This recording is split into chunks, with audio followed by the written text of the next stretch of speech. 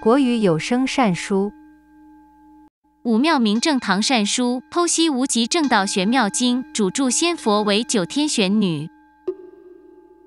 九天玄女将盛世剖析欲由清净之境，欲由清净之境，欲由清净之境。首先要明白什么是个性。世人仔细观察，不论人类或动物都有个性。当事件发生时，物命都会有不同反应，也就是说，个性各自不同。对每件事的反应，其实是综合性的念头，从自心、环境乃至于宿世种种综合的念头储存在世海里。当与世界互动时，就会表现出来的态度，一言以蔽之，就是个性。灵性寄居肉体，而肉体必须存活，所以要有欲望前进及生活。不过，就因为要存活，也就制约了灵性。尤其个性的发用各有不同，有前卫的、保守的、积极的、内敛的，不一而定。然则，园灵是需要这些阻碍及学习，又需要得以奔放有自由，所以个性便制约了灵性。欲由清净之境，由经典脉络而明善行积功，至德至仁，但需怎么着手进行呢？放松即是。放松在时下是种奢求，每个世人都想放松，但就连婴儿都不容易办到，因为渴了饿了嚎啕大哭，全身就是紧绷状态，又如何放松呢？专注是另一种一方，比如静坐、诵经、讲课，只要将心放在一个地方，不有旁骛，就可以从专注中求得放松。而行善求道，是令世人最能保持长久的放松情境。每人能有不同的个性，换句话说，每个园林将士都有不同任务，才会有阴应的个性形成。阻碍也好，前进动力也罢，世人都必须放下所有个性，才能精进道成，从中获得法喜。否则，个性从中作梗，不是批判就是不能反思，久而久之，便在一样的轮回轨道上运行，终究不能超生。本频道有客诵《无极正道玄妙经》《无极皇母唤醒天经》之影片，望大家常念诵，落实到在生活。二这两部经典都是无极正道院必修课程，也是人间成道的宝典，望大家可以落实。三老母娘赐下无极正道院于武庙明正堂，此灵修院正道者准予永脱轮回，以回无极理天，望大家把握，替自己与家人祖先超拔与生前助吉哟。正道者是可以永脱轮回哟。小编整理末法书机一一贯天道求道者天堂挂号地府抽丁求道人的祖先可从地狱离开去藏藏古佛处修行求道后虔诚修道者可以回天考验而正果若没通过者可至少到济公活佛净土修行。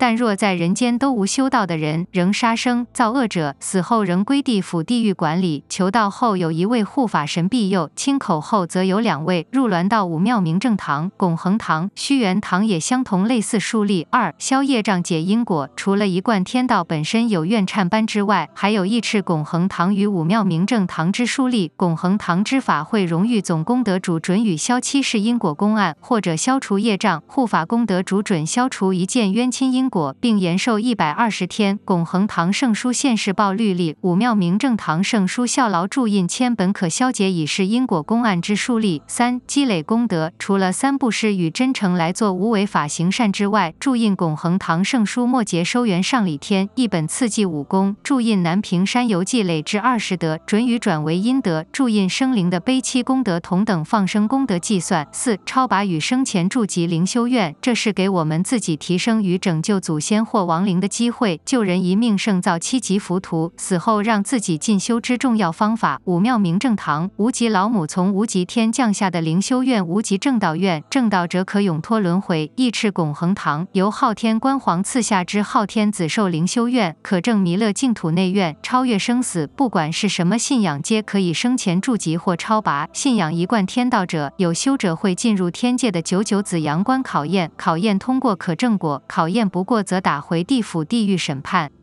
若此时您有生前住及灵修院，便是给予自己另一个机会，免于打回地府地狱，有个地方在度修行，又可以免受轮回痛苦。望大家把握机会，皆望大家都可正果回天。五发愿往生弥勒净土，一贯天道者容易往生弥勒净土，前提要记得跟上天发愿，愿意往生弥勒净土，并且要功德回向往生净土。若您不是一贯天道者，单纯是佛教或无信仰者，建议您可以向义赤拱恒堂。询问他们可以免费住集往生弥勒净土，住集后每天定要念至少十声南无弥勒尊佛后回向愿往生净土。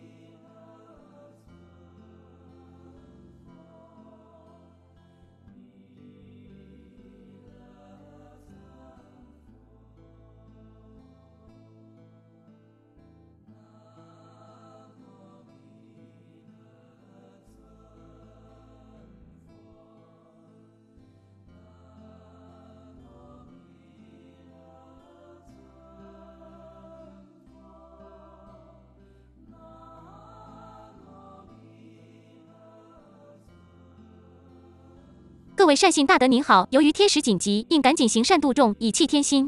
目前南天直辖武庙明正堂正在募款新建凌霄宝殿，期望众人有钱出钱，有力出力。相关资讯可至南天直辖武庙明正堂网站详阅。喜欢影片记得按赞或分享，可以让更多人知道上天的用心。记得订阅以及开启小铃铛，未来会随时公布新的影片哟。